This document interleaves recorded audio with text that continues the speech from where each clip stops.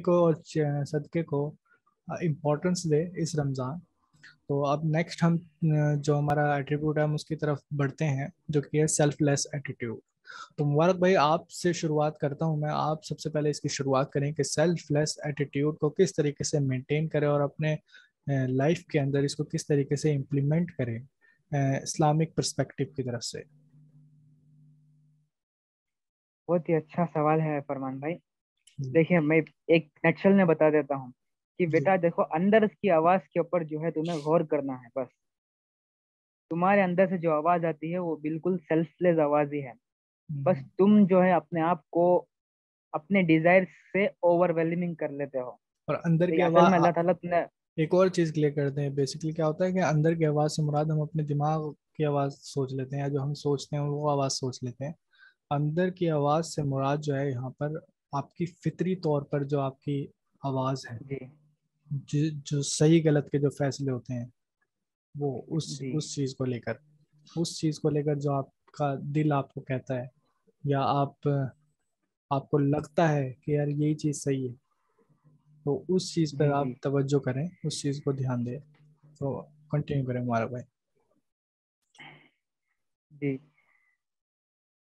तो selfless personality के बारे में जैसे आपने, मैंने पहले हदीस बताई थी कि अल्लाह के नबी ने किस तरह रूट में हमारे लिए ये हदीस बताकर हमारा जो एकदम फिलोसफी क्लियर कर दी है। तो हमारी लाइफ में किस तरह लाना है? तो हमारी अंदर की आवाज़ के ऊपर जो है हमें गौर करना है।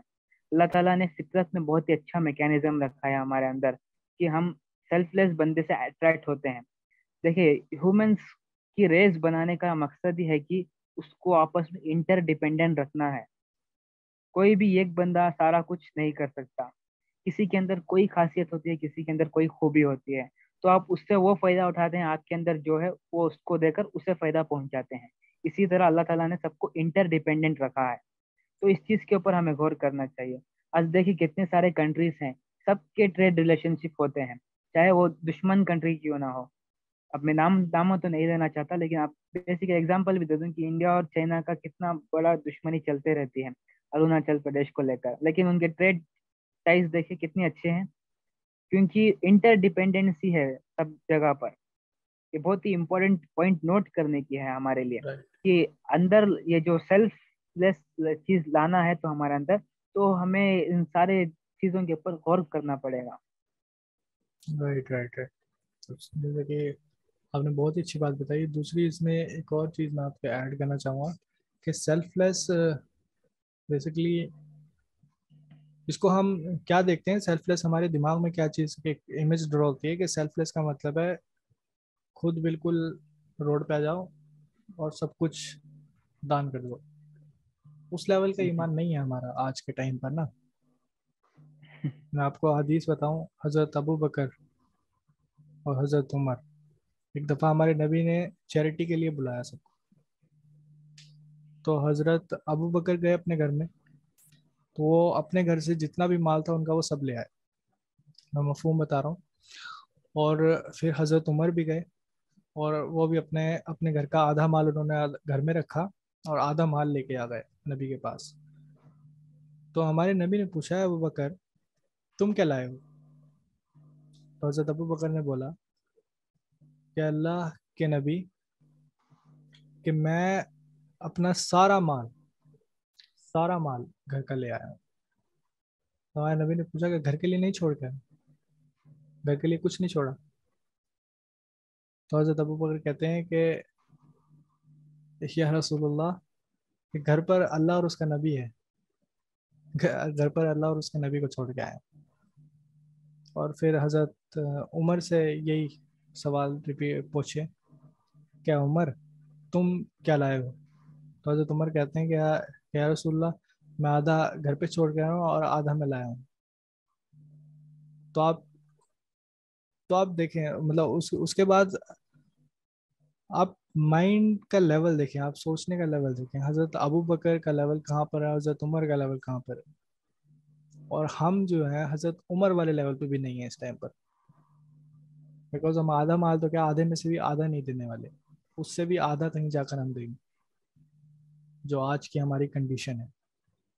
जो जो आज का हमारा सेल्फलेस की जगह सेल्फिश बिहेवियर हो चुका है।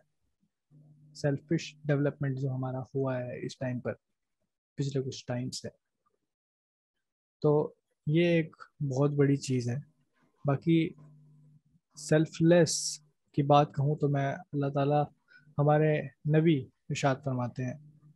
कि जो शख्स इंसान से, किसी भी इंसान से अच्छा नहीं हो सकता ना, उसके साथ मतलब उसके ताल्लुकात या बाकी सारी चीज़ें भी हैं, वो अच्छी नहीं है तो वो अल्लाह के साथ भी अच्छा नहीं हो सकता। आप देखिए कितनी बड़ी चीज़ है वो छोटी मोटी चीज़ नहीं है। ये अमानतदारी के अंदर आती है।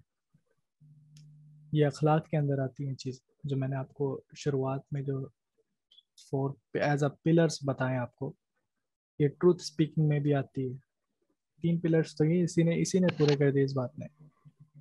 तो बहुत ज़्यादा ज़रूरी है कि हम सभी लोग सेल्फलेस बने और अपने बारे में कम सोचें, दूसरों के बारे में ज़्यादा सोचें। क्योंकि हमारे नबी की हदीस है अगर कोई शख्स चाहता हो कि उसकी इज़्ज़त हो तो हमारे नबी ने कहा कि वो तो वो दूसरों का भला सोचे तो वो दूसरों की मदद करे। अल्लाह ताला उसको इज़्ज़त अता करेगा आज हम लोग फेम के लिए क्या कुछ नहीं करते। आजकल हम लोग बड़े बड़े फ़िल्म स्टार्स को फॉलो करते हैं। बड़े बड़े लोगों को फॉलो करते हैं, जो कि सही नहीं है बिल्कुल भी। बिकॉज़ वी डू कंपटीशन हम कंपटीशन करने लगते हैं उन सब लोगों से। तो ये चीज़ें गलत है, अपने आप को सेल्फलेस बनाए, दूसरों की मदद करने वाला बनाए, अल्लाह ताला आपको इज़्ज़त भी देंगे अल्लाह ताला आपको हिदायत भी देंगे और अल्लाह ताला से हिदायत हिदायत मांगे। इंशाल्लाह अब इसके बाद हम एक एक कंक्लूजन चाहेंगे। मुबारक भाई, आपसे एक कंक्लूजन चाहेंगे, उसके बाद इंशाल्लाह हम सेशन को एंड करते हैं। तो जैसे बेसिकली आपने कहा कि हमारे अंदर ये सेल्फ सेल्फलिशनेस बहुत आ गया है तो इसकी वजह क्या है आज? कि हमारी जो है आइडेंटिटी क्लियर नहीं है और हमारी तरबियत जो है इस्लाम नहीं कर रहा। सोशल मीडिया कर रहा है असल में। और माशरे में जो चीज़ प्रिवेलेंट है वो कर रही है हमारी तरबियत। यह है सबसे बड़ा मसला सेल्फिशनेस आने का। Right. जो भी बंदा प्रिवेलेंट होता है वो अपने बारे में ही सोचता है। प्रिवेलेंट यानी माशरे में उसकी जो फेम और पैसा ज़्यादा होता है तो वो बेसिकली सेल्फिश ही होता है। तो उसको कॉपी करते करते सारे लोग जो है सेल्फिश होते जा रहे हैं। यही इसकी असल वजह है। तो आज का जो सेशन करने का जो भी मकसद था कि ये नहीं कि अभी आप यूथ के लिए हम बेसिकली काम करते हैं।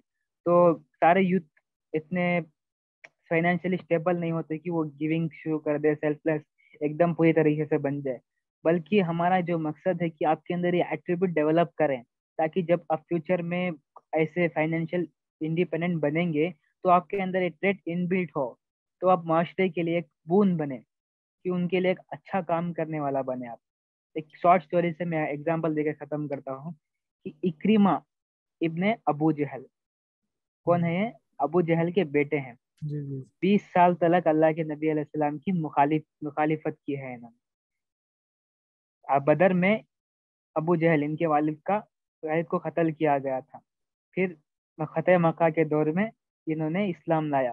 देखिए इस्लाम लाने के बाद इतनी दुश्मनी शदीद दुश्मनी थी इन, इनकी अल्लाह के नबी सलाम से इस्लाम से। लेकिन इस्लाम लाने के बाद किस तरह इनके अंदर निखार आया है? फ़िल्टर किया इस्लाम को, इस्लाम ने इनको और एक सेल्फलेस पर्सनैलिटी बनाया है इनको कि इनकी जो शहादत थी, जो जंग यरमुक में हुई थी, इनको जब एक बड़ा जख्म लगा जिसम पर तो इन खून बह रहा था इनको। तो जल्दी से लेकर इनको ले टेंथ में ले गए, जो ट्रीटमेंट चलता है। वहाँ पर जो है दस लोग जख्मी पड़े हुए थे। तो सब लोग जो है पानी की प्यास लग रही थी सबको। तो एक सहाबी है जो इन्होंने पानी लाकर पहले इक्रीमा को दिया, इक्रीमा रज़ी अल्लाह को। तो उन्होंने क्या कहा कि अपने आजू बाजू देखा सारे लोगों को, सब लोग पानी पानी कर रहे थे। तो उन्होंने क्या कहा तो पहले उसको तुम पानी दो।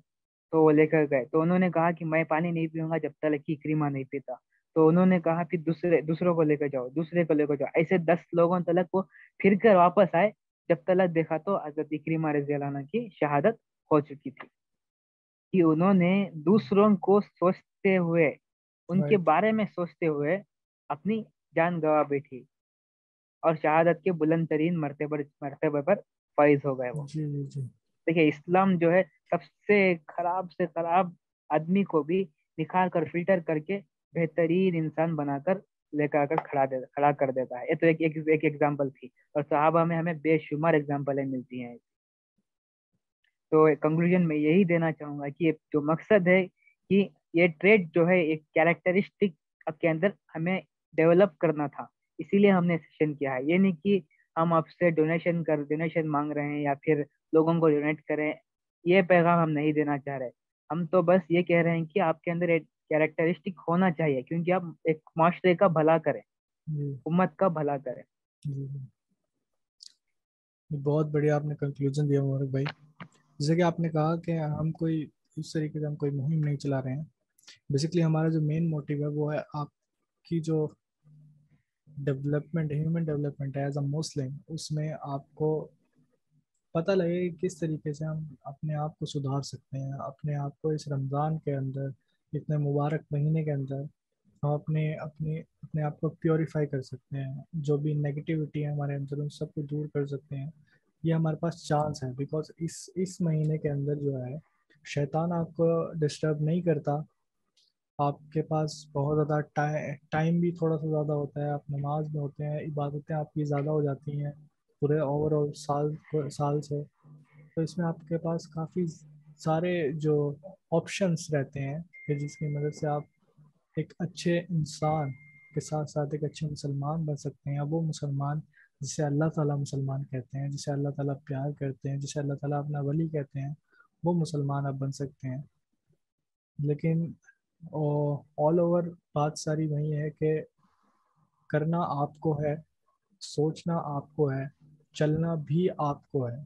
हम सिर्फ़ यहाँ पर आप लोगों के, आप लोगों की मदद करने के लिए बैठे हैं। आपको अगर कोई भी दिक्कत, परेशानी आती है, आप कांटेक्ट करें हमारे साथ, हमारे सोशल मीडिया नेटवर्क्स पर या हमारे यूट्यूब पर कोई ग्रो, हमारे ग्रुप्स भी हैं ग्रुप्स को ज्वाइन करें। आपको ऑल ओवर कोई भी आपको दिक्कत, परेशानी है, आप हमारे साथ रबता करें, आप हमारे साथ ज्वाइन करें।